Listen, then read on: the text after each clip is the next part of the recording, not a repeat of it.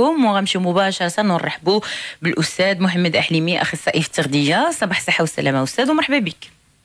شكرا لك أختي سكينة تحية لك تحية لفريق العمل تحية للمستمعين الكرام وصباح الصحة والسلامة للجميع إن شاء الله. أحوال طيبة على خير.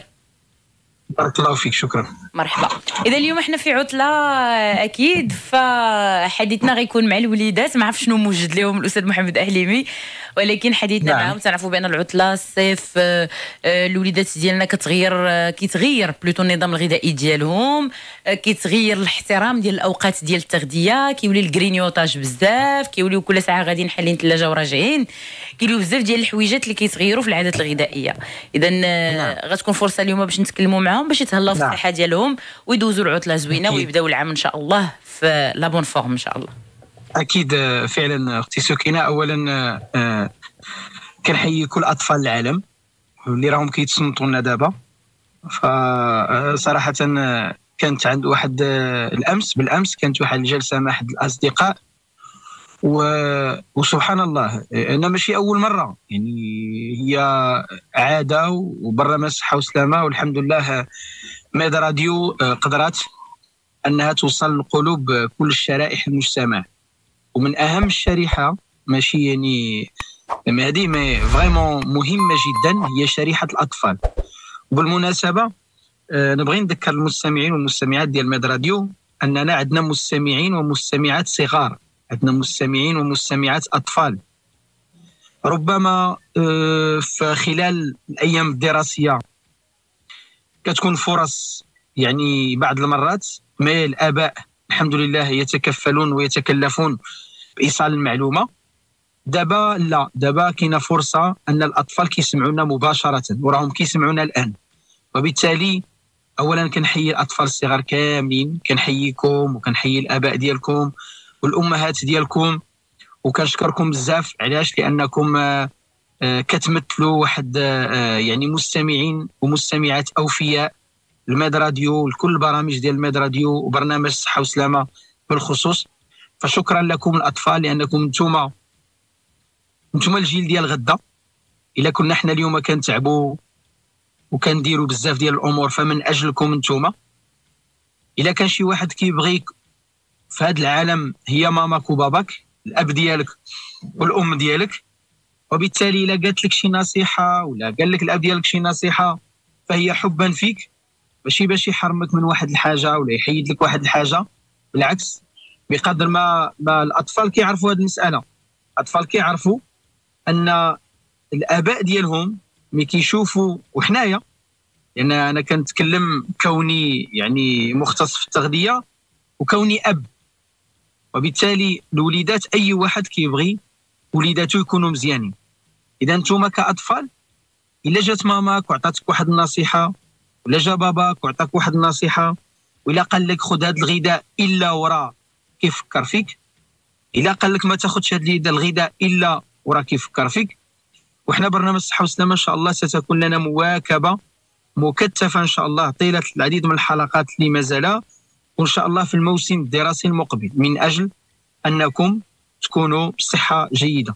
يعني إحنا صراحة لما كي كيمرضوا الأطفال في المنزل كلنا كنمرضوا.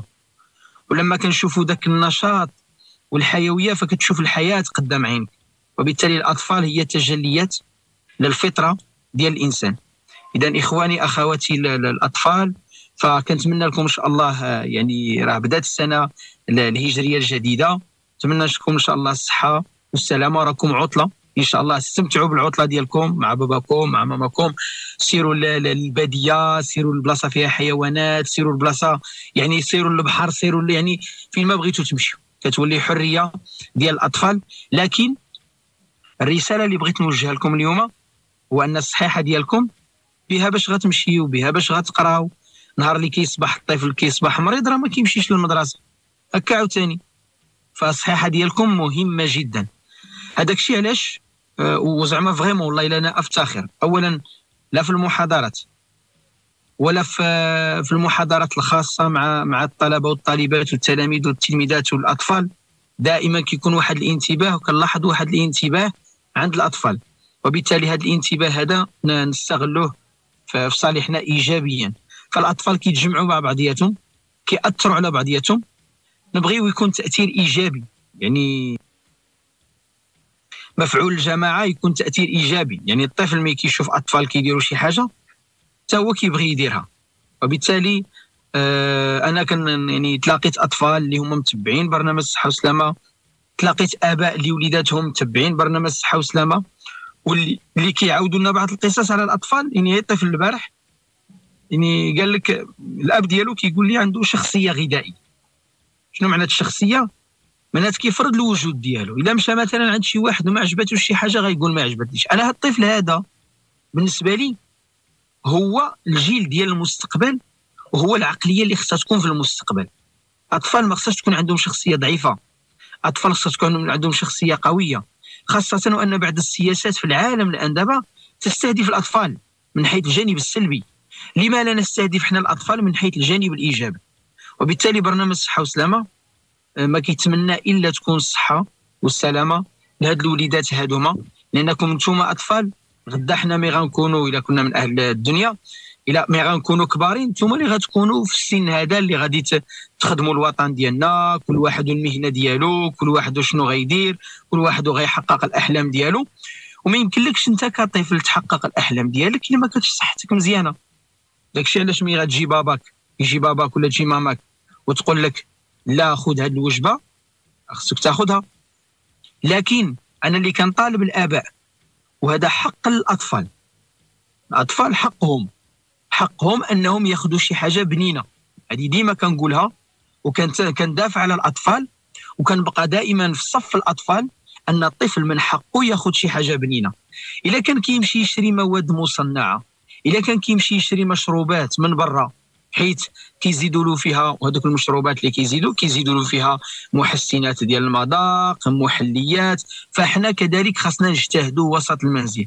وكنحيي كل الآباء وكل الأمهات اللي قاموا باجتهادات رائعة جدا واللي قاموا بأشياء رائعة جدا من قبيل تحضير العديد من الوجبات اللي فيها اجتهاد كبير. لا من حيث المجهود ولا من حيث المذاق ولا من حيث المعيار الصحي ديال هذاك الشيء اللي كتعطيو لوليداتكم.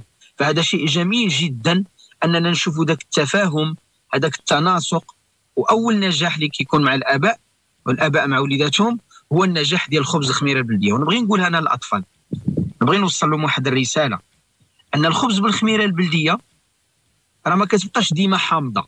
c'est vrai أنا مثلا كطفل عطاتني الأم ديالي ولا الأب ديالي خبز بالخميرة البلدية ربما تجيني حامضة. ما هي ما كتبقاش حامضة علاش؟ لأن نتوما أطفال كاين العديد من الأطفال اللي يولفوا المذاق الحلو. ملي كتولف المذاق حلو مع بسكوي مع حلويات مع كتولي ذاك المذاق الحامض ما كتبقاش تحس به. وبالتالي ملي كيبداو حنا هذا الخبز بالخميرة البلدية كتجينا حامضة النهار الأول النهار الثاني الثالث وما كتكونش حامضة بزاف وديك الحموضية ديالها زوينة. من موراها بأسبوع صافي. ما كتبقاش هذيك الحموضيه وبالتالي علاش حنايا كآباء كنطالبوا الابناء أنهم يأخذوا الخبز بالخميرة البلدية؟ لأن الخبز بالخميرة البلدية هي أساس التغذية ديالنا عندنا حنا في المغرب. أنت كطفل وأنت كطفلة كتعرفوا بأنكم ما يمكن لكمش تاخذوا واحد الوجبة إلا ما كانش الخبز. وبالتالي حنا عندنا الخبز كناخذوها في الفطور كناخذوا الخبز في الغداء كناخذوا الخبز في العشاء. وبالتالي هذا أخذ الخبز عندنا في جميع الوجبات وماشي مشكل. حنا بالعكس الشعب يعني كناكلوا الخبز. لكن هذا الخبز هذه إلا ما كانتش صحية غادي تعطينا مشاكل كبيرة بزاف. هذاك الشيء علاش الآباء والأمهات ديالكم كيحاولوا يجتهدوا أنهم يديروا الخبز بالخميرة البلدية. ندوزوا لمسألة أخرى هي مسألة المصنعات. غالبا الأطفال يقبلون على لي كلاس على مشروبات على هذه. كان أنا أناشد الأطفال أننا ناخذ داك الشيء اللي كيحضروا لنا الأباء ديالنا سواء مامانا في الدار اللي كتحضر ديك الوجبات سواء الأب ديالنا اللي كيحضر هذيك الوجبات لأن الوجبات اللي كتباع على برا واللي كتهدي بزاف الأمور بزاف الأحيان بزاف المرات كيكونوا فيها بعض المواد اللي ما صالحاش للصحه ديالنا حنا واللي نتوما باقيين صغارين باش يكون العظم ديالكم مزيان باش يكون الجسم مزيان باش يكون الجسم رشيق. رشيق معناته أنه كيتحرك إلا بغيتي تلعب. غتلقى يعني آه, آه، يعني الصحة ديالك باش تلعب. ثم كتعرفوا أطفال ملي كتمرضوا ما كتمرضوا راه ما كتبقاو تقدروا تلعبوا ما كتبقاو تقدروا ديروا حتى شي حاجة. وحنا دابا في العطلة الصيفية مشيو عند الأهل ومشيو عند الأصدقاء أي أطفال إلا وعندهم أصدقاء في العائلة كيبغيو يتلاقاو بهم باش أنكم دوزوا العطلة ديالكم بسلام. وهذا الشيء اللي بغينا نوصلوا للأطفال. فسمعوا للآباء ديالكم. أنت كطفل وأنت كطفلة لما كيهضر معك باك الأم ديالك والأب ديالك فالصالح ديالك. ما يعني ما كاينش شي واحد كيبغيك في هذا العالم أكثر من الأم والأب ديالك. وبالتالي ملي كيقول لك دير شي حاجة راه للصالح ديالك وللمصلحه ديالك. فهادشي علاش أول وحدين غادي نسمعوهم حنا كآباء هما حنا كأطفال هما الآباء والأمهات ديالنا. وبالتالي زائد أن المستقبل نردوا بالنا من داكشي اللي كنتفرجوا فيه. ردوا بالنا من بعض الرسوم اللي كنتفرجوا فيها. ردوا بالنا من النصائح اللي كيعطيونا الآباء ديالنا على الرسوم اللي كنتفرجوا فيها. إلا بغينا نتفرجوا في الرسوم نخليو الأب ديالنا ولا الأم ديالنا هي تختار لنا نوعية الرسوم اللي غادي نتفرجوا لها. علاش؟ لأن هذيك الرسوم كاين بعض الرسوم كاين العديد من الرسوم اللي فيها بعض الأمور اللي اليوم تقدر يعني تخلي الأطفال يديروا بعض الأمور اللي هي خايبة. يقلدوا مثلا هذيك الرسوم لأن الأب ديالك والأم ديالك ما يختار لك رسوم يختار لك رسوم اللي هي هادفة. ماشي رسوم اللي كيوريك تاخذ الحلوى رسوم اللي كيوريك تاخذ لا. يعطيك شي, رسوم وتفرج فيها لأن فيها حيوانات فيها طبيعة وتفرج مع الأب ديالك ما فهمتيش شي حاجة هو يشرحها لك ما فهمتيش شي حاجة الأم ديالك تشرحها لك. ماشي أنا نتفرج في شي حاجة هكا راسي ومخبي على الأب ديالي والأم ديالي وكتكون بعض الأمور. فهذا الشيء علاش؟ داكشي اللي كتفرجوا فيه داكشي اللي كتاكلوه ناقشوا مع الآباء ديالكم شي حاجة بغيتوها قولها لباباك شي حاجة بغيتيها قولها لماماك شي حاجة واقعة لك قولوها للاباء ديالكم لأنه هما اللي كيحميوكم هما اللي كيهتموا بكم. حتى حنا بدورنا أنا براسي أنا عندي وليدات صغارين بحالكم أنا براسي كنعتبركم أنتم وليداتنا لأن الوليدات ديال المجتمع وليداتنا حنايا.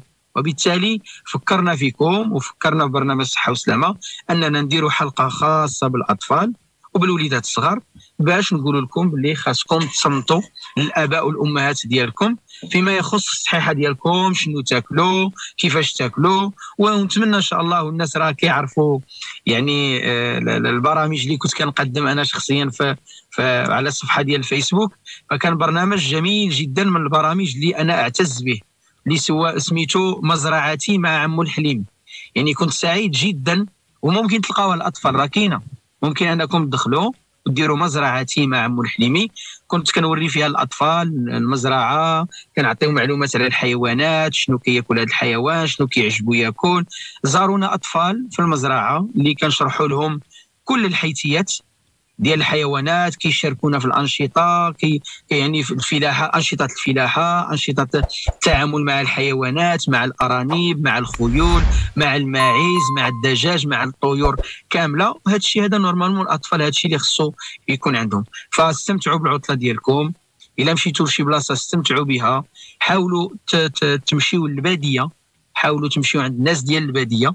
وخذوا الأكل اللي غادي يقول لكم باباكم وماماكم لأنه هو اللي كيبغيو لكم هما اللي كيعرفوا المصلحة ديالكم. فتحية لكم اطفالي الصغار ونتمنى إن شاء الله وأنا عارفكم أوفياء وخليكم أوفياء البرنامج صحه وسلامه فإحنا الهدف ديالنا في هذه الحياة كاملة هو أننا نشوفكم أنتم كوليداتنا. نشوفوكم صحه مزيانة. ندوزوا معكم العطلة دابا في أحسن الظروف. من أجل باش ما يجي لا لا لا يعني الدخول المدرسي تكونوا في كامل القوى ديالكم باش ندوزوا السنة دراسية أخرى إن شاء الله. فتحية للأطفال وتحية للآباء والأمهات وتهلاو في الصحة ديالكم. هذه آخر نصيحة اللي غنوجهها للأطفال. مرحبا. مشكور جزيل الشكر أستاذ. وحنا لقينا أكيد مازال متواصل. توقفوا مع فاصل ونرجع نستقبلوا مكالمات المستمعين. خليكم معنا.